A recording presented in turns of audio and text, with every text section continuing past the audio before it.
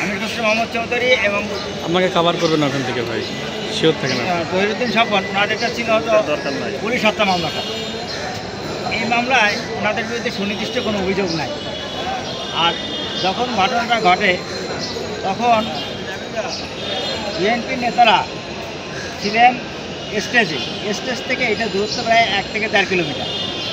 এখান থেকে এখান থেকে ওখানে কী হচ্ছে এটা দেখারও সুযোগ নেই জানারও সুযোগ নেই। এবং শুধুমাত্র ওনাদের বিরুদ্ধে আছে উস্কানি কিন্তু কী উস্কানি দিয়েছেন সেটাও বলা নাই। যে কারণে আমি বিজ্ঞ আদালতকে বললাম যে ওনার বয়স্ক শারীরিকভাবে অসুস্থ একটা লোক জামিন পাওয়ার জন্য যতগুলো নিয়ম আছে সেটা ওনাদের আছে। আর ইমরান সালেহ প্রিন্সের যেটা সেটা হচ্ছে ওই পুলিশের বন্দুক চিন্তায় ওই মামলায়। ওইখানেও তার বিরুদ্ধে কোনো সুনির্দিষ্ট অভিযোগ নাই। উনিও বাষট্টি বছর বয়স।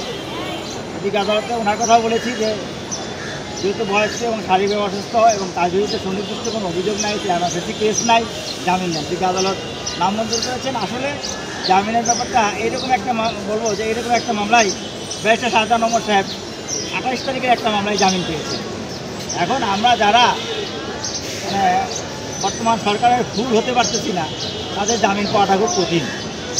আর ফুল হতে পারলে জামিন হয়ে যায়। সাহেব ভুল হয়েছে।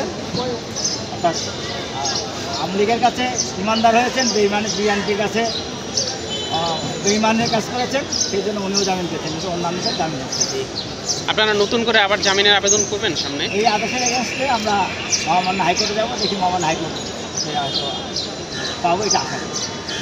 ঠিক আছে। স্থায়ী কমিটির সদস্য যারা আমি খসরু মাহমুদ চৌধুরী এবং বিএনপি কেন্দ্রীয় নেতা জয়দুল স্বপন এবং ইমরান সালেহ প্রিন্স তিনজনের আজকে দুটো সিআর মিসের মাধ্যমে আজকে জামিন শুনানি ছিল। তো জনাব আমি খসরু মাহমুদ চৌধুরীর পক্ষে এবং জয়দুল স্বপনের পক্ষে একটি সিআর মিসে তাদের জামিন শুনানি হয়। এবং জামিন শুনানিতে তারা জামিন চায় এবং আমরা রাষ্ট্রপক্ষ বলেছি যে এই মামলাটি ছিল, আপনারা জানেন যে একটি একজন পুলিশ কনস্টেবলকে কীভাবে পিটিয়ে হত্যা করা হয়েছিল। এই পিটিয়ে হত্যা করার যে কনস্টেবল নাম দুলাল, তাকে যে পিটিয়ে হত্যা করা হয়েছিল সেই মামলাই এটা তিনশো দুইয়ের মামলা এবং এটা শুনানি শেষে আমরা বলেছি যেহেতু ওনার, ওনাদের উস্কানি ছিল।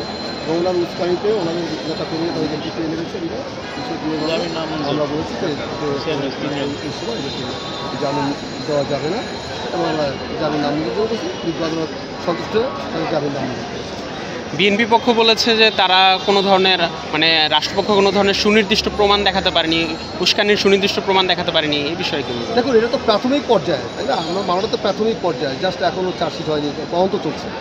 আবার এটা ওরা ওরা বলতে পারে, তদন্ত শেষে ওরা বলতে পারবেন যে সুনির্দিষ্ট প্রমাণ হয়েছে, আছে কিনা। আমরা তো অবশ্যই বলছি, রাষ্ট্রপক্ষ বলছে সুনির্দিষ্ট প্রমাণ আমাদের কাছে আছে, যেহেতু তদন্ত চলছে।